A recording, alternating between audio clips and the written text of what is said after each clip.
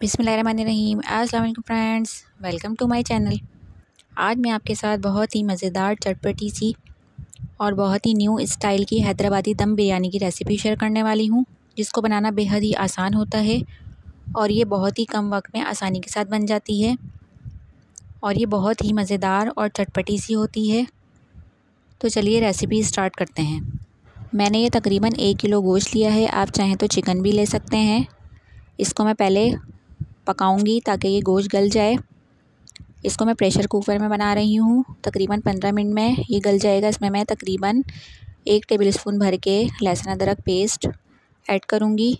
इसके बाद मैं इसमें वन टीस्पून नमक ऐड कर दूँगी और तकरीबन दो ग्लास भर के मैं इसमें पानी डालूँगी। पानी डालने के बाद मैं इसको बंद कर दूँगी ताकि गोश्त अच्छी तरह गल जाए। गोश्त जो है वो हमारा तकरीबन तैयार हो चुका है, गल चुका है। तो मैं इसको एक साइड पे कर दूँगी। अब इसमें मैं तमाम मसाले ऐड करूँगी और इसको मैरिनेट करने के लिए रख दूँगी। अगर हम चिकन लेते हैं तो कच्चे चिकन में ही तमाम मसाले मैरिनेट करने के लिए रख देंगे। ये तकरीबन एक इंच अदरक का टुकड़ा इसको मैंने काट लिया है, ये मैं गोश्त में ऐड कर दूँगी। इसके बाद मैं चार अदद मीडियम साइज़ के मैंने ये टमाटर लिए हैं, इसको मैं ऐड कर दूँगी। इसके बाद मैं इसमें दो अदद ये दालचीनी के टुकड़े हैं, ये मैं इसमें ऐड कर दूँगी। दो अदद ये बड़ी इलायची ली है मैंने इसमें, ये मैं ऐड कर दूँगी। ये मैंने तीन अदद तेज़ पत्ते लिए हैं, इनको मैं ऐड कर दूँगी। हाफ़ टी स्पून काली मिर्चें हैं, ये मैं इसमें ऐड कर दूँगी। के बाद ये दो बादियान के फूल हैं, ये मैं इसमें ऐड कर दूँगी। वन फोर टी स्पून लौंगे हैं, ये मैं इसमें ऐड कर दूँगी। वन टेबल स्पून ज़ीरा है, ये मैं इसमें ऐड कर दूँगी। वन टेबल स्पून लाल मिर्च पाउडर है, ये मैं इसमें ऐड कर दूँगी। आप चाहें तो अपने टेस्ट के मुताबिक इसमें डाल सकते हैं। टू टीस्पून अदरक लहसुन पेस्ट है, ये मैं इसमें ऐड कर दूँगी। वन टीस्पून हल्दी पाउडर है, ये मैं इसमें ऐड करूँगी। वन टेबल स्पून धनिया पाउडर है, ये मैं इसमें ऐड कर दूँगी। One tablespoon Chinese salt है, ये मैं इसमें ऐड करूँगी, आप चाहें तो इसको स्किप भी कर सकते हैं। एक प्याली मैंने दही लिया है, इसको मैं ऐड कर दूँगी। वन फोर टीस्पून ये छोटी इलायची का पाउडर है, ये मैं इसमें ऐड कर दूँगी। वन फोर टीस्पून ये जायफल जवत्री पाउडर है, ये मैं इसमें ऐड कर दूँगी। चार अदद, ये छोटी इलायची है, ये मैं इसमें ऐड कर दूँगी। अब मैं इसमें हाफ़ टी स्पून गर्म मसाला पाउडर ऐड करूँगी। वन टेबल स्पून इसमें मैं नमक ऐड करूँगी। आप चाहें तो जायके के मुताबिक ऐड कर सकते हैं। अब इस तमाम मसाले को मैं अच्छी तरह मिक्स करके तकरीबन आधे घंटे के लिए मैरिनेट करने के लिए रख दूँगी। ये मैंने तकरीबन आधा किलो आलू लिए हैं। आप चाहें तो ज़्यादा भी ले सकते हैं। इनको मैंने क्यूब्स की शक्ल में काट लिया है। और इसको मैं पानी में डालकर ज़र्दे का कलर ऐड करके और इसको तकरीबन इतना पकाऊँगी कि ये थोड़े कच्चे पक्के हो जाएँ। जब ये तकरीबन हाफ़ डन हो जाएँगे तो मैं इसको भी मसाले में ऐड कर दूँगी। ये मैंने एक कढ़ाई ली है, इसमें मैं तकरीबन एक प्याली भर के ऑयल डाल दूँगी, ये एक पाव के करीब है। और इसमें मैं तकरीबन चार अदद दरमियाने साइज़ की प्याज जो मैंने बारीक काट के रखी हुई है, इसको मैं इसमें शामिल कर दूँगी और इसको मुझे लाइट गोल्डन होने तक फ्राई करते रहना है। ये देखिए व्यूअर्स कितनी अच्छी सी लाइट गोल्डन सी प्याज फ्राई हो चुकी है। अब मैं इसको एक प्लेट में निकाल लूँगी और इसको ठंडा होने के बाद जो मैंने मैरिनेट करने के लिए मसाला रखा हुआ है, उस मसाले में मैं इसको ऐड कर दूँगी। प्याज भी ठंडी हो चुकी है। अब मैं इसमें तमाम मसाले में ये प्याज ऐड कर रही हूँ और ऐड करने के बाद मैं इसको मिक्स करके थोड़ी देर के लिए मैरिनेट करने के लिए रख दूँगी।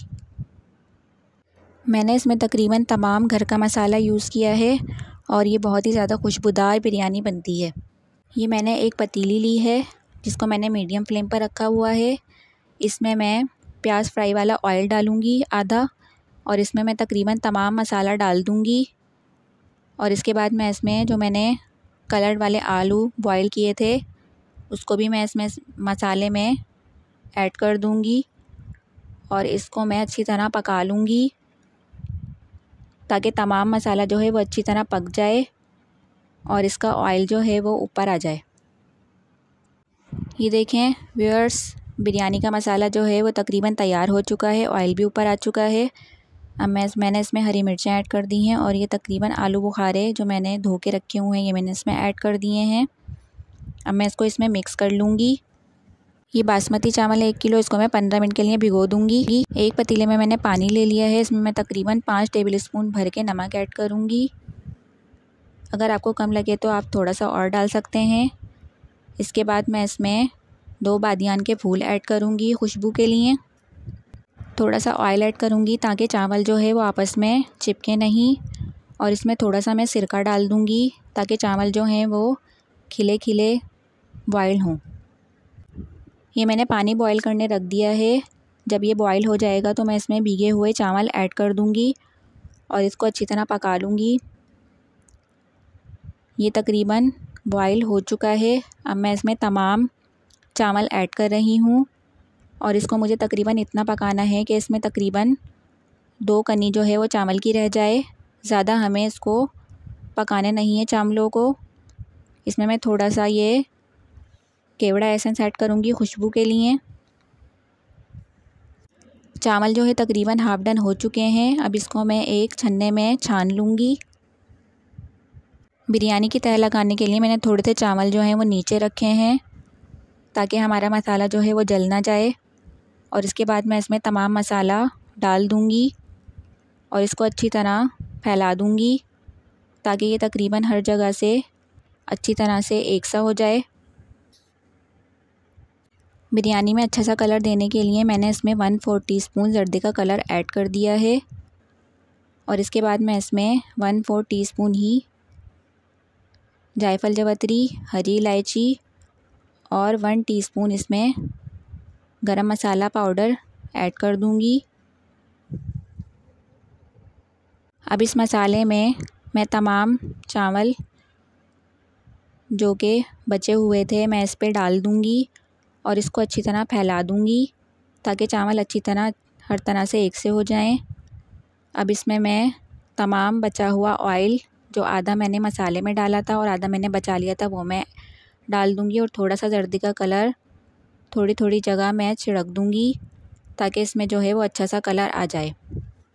दम पे लगाने के लिए पहले तेज़ आँच करूँगी, फिर हल्की आँच कर दूँगी। ये देखें कितनी अच्छी परफेक्ट खुशबूदार बिरयानी तैयार हो चुकी है और बहुत ही अच्छी सी खुशबू आ रही है इसके अंदर। और इसमें मैं तमाम मसाले को मिक्स कर लूँगी। ये देखें कितनी अच्छी सी परफेक्ट एक किलो गोश्त की और एक किलो चावलों की बिरयानी तैयार हो चुकी है। और बहुत ही मज़े की बनी है। आप ये रेसिपी ज़रूर ट्राई कीजिएगा। आप ज़रूर ट्राई कीजिएगा, ये बहुत ही मज़ेदार बनती है और बाज़ार से कहीं ज़्यादा बेहतर घर के मसाले की बिरयानी बनती है। अगर आपको मेरी रेसिपी अच्छी लगी हो तो मेरी रेसिपी को लाइक करें शेयर करें और सब्सक्राइब करना मत भूलें। अल्लाह हाफिज़।